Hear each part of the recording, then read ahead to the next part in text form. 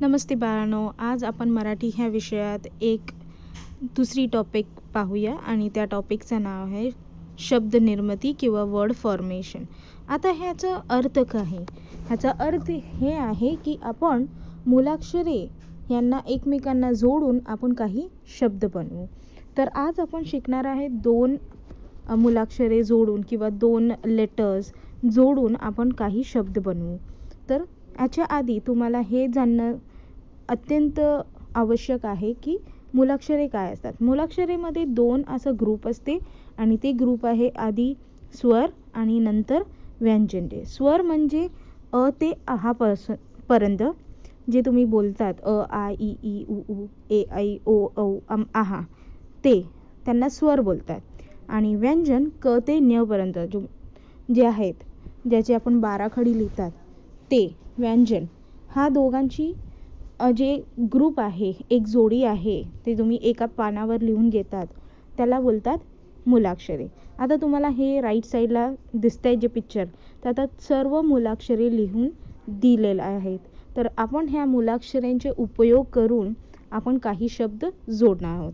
तर आजचा विषय शब्द जोडणं आहे. तर आपण फक्त दोन शब्द हे जोडणार आहे. दोन दोन अक्षरे घेऊन आपण शब्द जोडणार आहे. ते आपण पाहूया.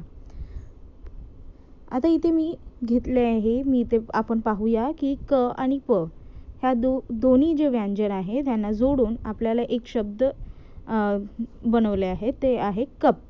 तर हे कप असं एक शब्द झाला आहे जे आपण बघू शकतात वापरू शकतात. इथे तुम्हाला पिक्चरमध्ये पण दाखवत आहे की कप म्हणजे काय.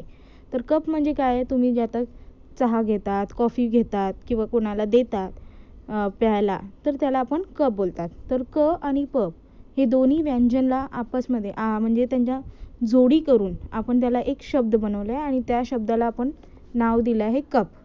असंही दुसरं बघूया तर ते दुसरं आहे घर. ग आणि र हे परत व्यंजन आहे. ह्या दोघांना पण आपण जोडून एक शब्द बनवला आहे आणि त्या शब्दाचं नाव आहे घर. तर तुम्ही इथे बघू शकतात की घर पण इथे त्याची पिक्चर दाखवली आहे. तर तुम्हाला आता कळलं असेल की कसं आपण शब्द बनवू शकतात कसं आपण शब्द लिहू शकतात. म्हणजे ते मुलाक्षरे जे आहेत त्याचीच आपल्याला एकमेकांची जोडी करावी लागतात आणि त्याप्रमाणे आपण शब्द बनवू शकतात. तर आज आपण दोन दोन अक्षरे जोडून आपण शब्द बनवले आहे तसंच तुम्हाला आता हे अभ्यास आहे की तुम्हाला वीस असं व वर्ड्स जे आहे ते बनवायचं आहे आणि तुम्हाला ते रफबुकमध्ये लिहायचं आहे. तर आता भेटूया आपलं दुसऱ्या व्हिडिओमध्ये